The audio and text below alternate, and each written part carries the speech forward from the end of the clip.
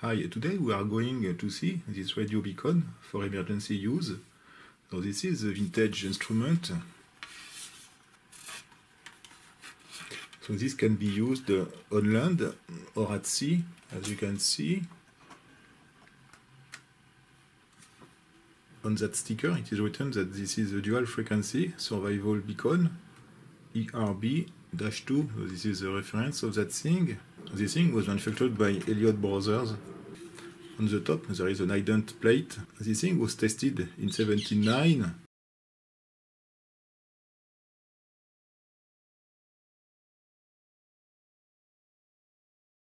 Okay, I forgot one screw.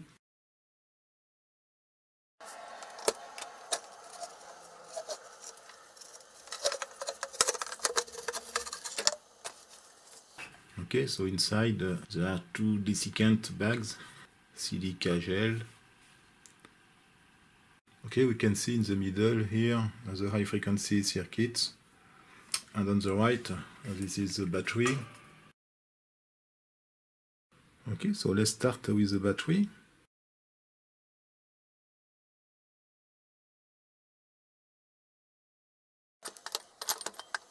There is a sticker here it is written SKB 1064. And there is something else on the other side. There is a sticker. It is written warning this battery may explode if disposed of in fire. I don't know the voltage of that thing. So it is uh, it was manufactured by Mallory Batteries Limited made in England. The battery is very heavy, approximately 2 kilos I think but there is nothing written on it. I don't know the voltage. There is also a date, 1978. It is written anyway on the sticker outside this unit. Okay, so I will desolder these wires because this thing is difficult to manipulate. Okay, so I think I will just uh, cut the wires here.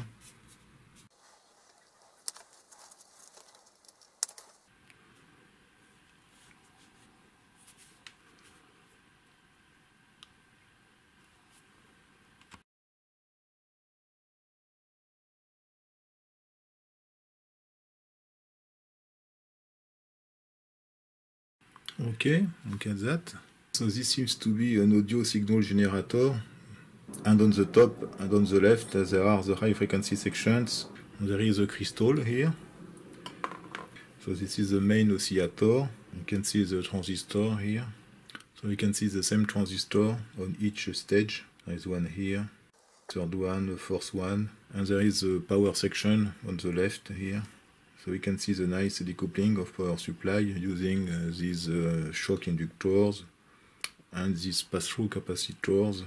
So on the bottom side, uh, this is obviously the audio generator. The output is one of these two signals and it permits to have an amplitude modulation of the high frequency output here.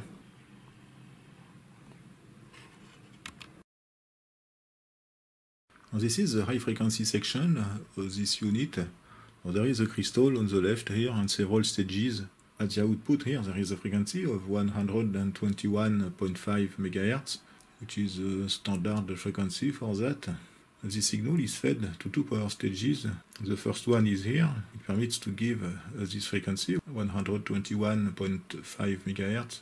And there is another stage which permits uh, to double this frequency this stage permits to get uh, the frequency of 243 MHz. This signal is amplified and the output of this transistor is fed uh, to the antenna.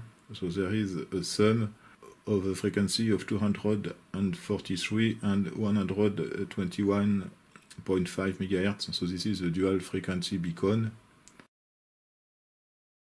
The audio signal is generated by this circuit. There is a classic multi-vibrator on the left so this is a VCO. The frequency depends on the voltage present on that line here. On the right, there is a sawtooth generator. This capacitor is charged at the beginning at 12 volts by this transistor Q3. During the charge, this transistor is off because the emitter voltage is above the base voltage, which is approximately 4 volts. The duration of the charge depends on the time constant, the capacitor and this resistor. There is a spike on the emitter here. So when the voltage decreases down to 3.3 volts approximately, the base voltage minus 1 VBE here, this transistor turns on and in that case this transistor is off because the emitter voltage is above the base voltage. The capacitor discharges through this current source. The current source is defined by the voltage on the base and this resistor. So this diode permits to compensate the base emitter junction here with temperature. So I have measured a duration of the sawtooth of approximately 360 milliseconds and there is a charge time of approximately 15 milliseconds. We can see something interesting that there are two outputs actually out of phase. I have called one signal A and the second one signal B. So these two signals permit to modulate uh, the high frequency signal uh, we have seen on the first schematic. I forgot uh, to speak about that. These are these two signals, A and B. So we can see that the modulation of the 121.5 MHz is not the same than the modulation of the 243 MHz because when one output stage is enabled, the second one is disabled and vice versa. At a given time, there is either an output of 243 MHz signal or 121.5 MHz. The computations are performed using these two diodes. When there is a positive voltage, for example on signal A, this diode is on Okay, so the current flows through the diode and returns to the ground here. So this permits to activate that line. So the high frequency signals flows through this capacitor, the diode, and the second capacitor. Otherwise, when the signal is zero, the diode is reverse biased because in that case, the second one is forward biased. In that case, there is a positive voltage on that point. So at a given time, only one diode is conductive, the other one is reverse biased. Okay, I have connected this electronic assembly to a power supply of 12 volts. I have connected also the magnetic field probe to the spectrum analyzer. Okay, so I will use a span of 300 MHz. Okay, the power supply is on. I will activate the probe. Okay, so we can see these two frequencies. Okay, so the second peak, as you can see, is approximately 242.8 MHz. Okay, so I will change the center frequency. Okay, I will reduce the span. For example, 10 MHz.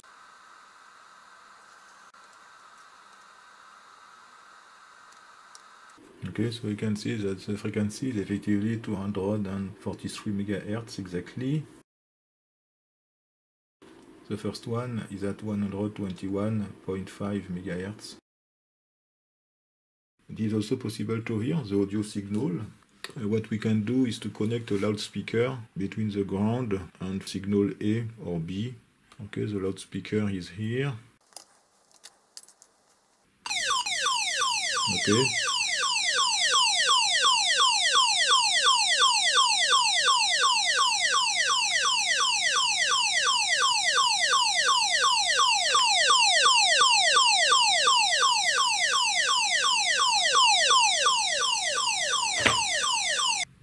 that's all for this emergency beacon. Thank you for watching and see you next time. Bye bye.